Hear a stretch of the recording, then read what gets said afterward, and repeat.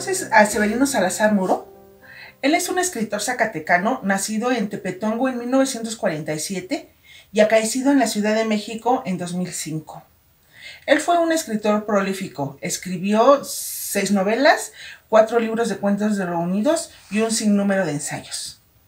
Hoy en particular quiero hablarte de su novela primigenia, Donde deben estar las catedrales, que además fue merecedora al premio Juan Rulfo a primera novela en 1984.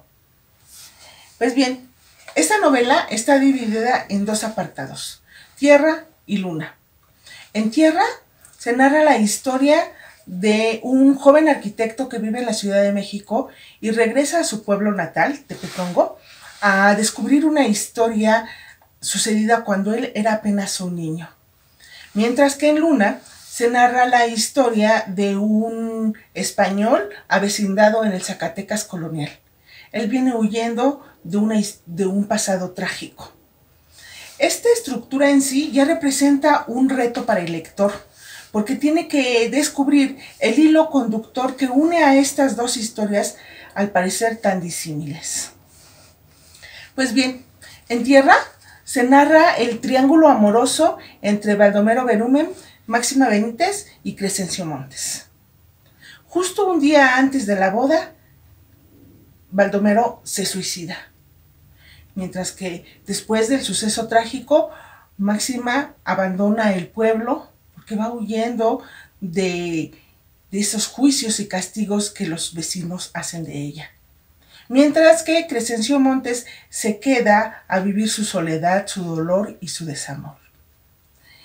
La narración es ambigua. El lector sabe lo que sucede, pero no sabe por qué. Sus conjeturas no llegan a ser certeza porque el narrador no lo permite. De estos tres personajes, a quien más profundamente conocemos es a Crescencio Montes, que es el protagonista.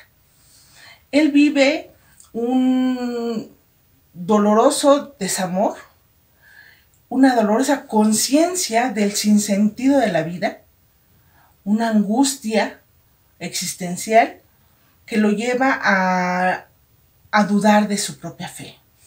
Y quiero leerles un apartado pequeñito que muestra el nivel de angustia que está sufriendo Crescencio Montes. Ya en su cuarto se apoyó en su reclinatorio. Miró el crucifijo en la pared y después inclinó la cabeza. La dejó caer sobre sus manos abiertas y comenzó a decir muy querido, como si sospechara que alguien afuera pudiera oírlo. Quiero ahora toda la alegría, toda la paz, todo el amor. Quiero ahora un adelanto de esa eternidad prometida. Dame aquí, aliento un poco este tiempo miserable con esa alegría eterna. No quiero, no puedo esperar. Si no nos hiciste perfectos, ¿por qué esperas de nosotros la perfección? Sé que estoy pecando de soberbia, pero no quiero tu reino no me interesa. Hiciste más hermosos, más apetecibles y atractivos los caminos del ángel caído. Esta locura que me devora, si no me la diste tú, entonces, ¿quién me la dio? Es muy fuerte este, este diálogo, este monólogo de, de Crescencio Montes. Y nos muestra, pues, que en esta novela se cuenta una historia trágica de la vida, ¿no? Una visión trágica de la vida, porque esta es dolorosa, es cruel y es misteriosa.